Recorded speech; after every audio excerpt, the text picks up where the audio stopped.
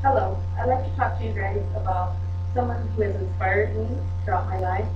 Even though many people have inspired me, like pharmacists, doctors, teachers, students, one has impacted my life totally, and that is my mother. She has instilled in me the love of Jesus Christ. She has showed me that everything I do in life, do it well and to be a loving, consistent mother, which is very difficult to do at, times.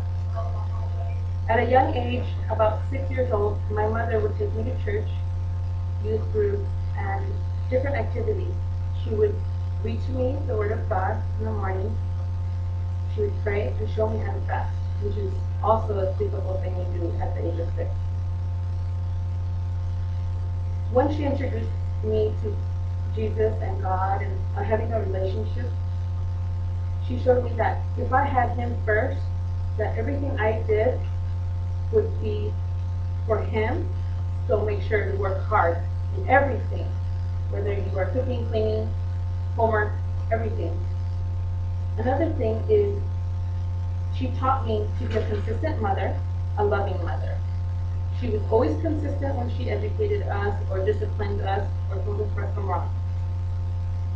Another thing she has instilled in us is, as parents, say no means no. Stick to it. When your child comes and asks you, hey mom, can we go to McDonald's today?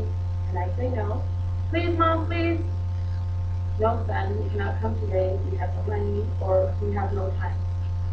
But also, be loving when we tell them no. Don't just scream at them, no, we can't go. Tell them in a loving manner. No, we can't, maybe next time. Okay, mom, that sounds great. Every day that I see myself living in everyday um, obstacles and challenges, I see my mom telling me, or hear, I hear my mom telling me, take it slowly, think of God, keep on going forward. She's just an awesome woman. She just loves Jesus. She's a hard worker.